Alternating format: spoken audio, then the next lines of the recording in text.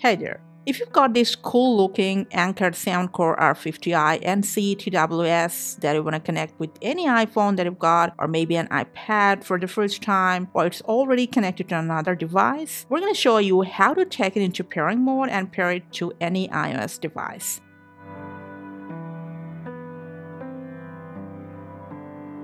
So for that, first, you need to just open the charging case Gently take off the buds from the charging case one after another and then just place them back and see if the connection LED is showing. That means they're connected. Let me take them out again to pair. On my iPhone, I'm going to go to settings from there the Bluetooth settings.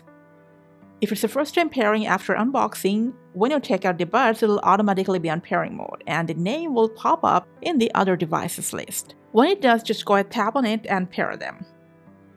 Now, just in case if the name is not popping up or they're connected to any other devices in the same Bluetooth range, you can take them manually into pairing mode. For that, grab your buds and then press and hold over this Soundcore icon at the touch surface for about 3 seconds.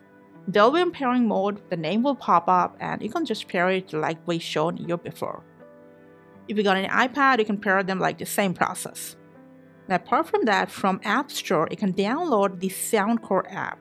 After it's installed, just go ahead, follow the prompts, and set up your buds with the app properly. And if the buds are out of the box, it'll automatically detect it on the app. Just connect the buds.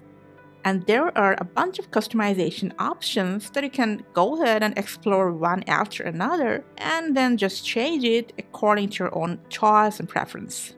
And that's it. Enjoy your newly paired R50i with your iPhone or iPad. Thanks for watching.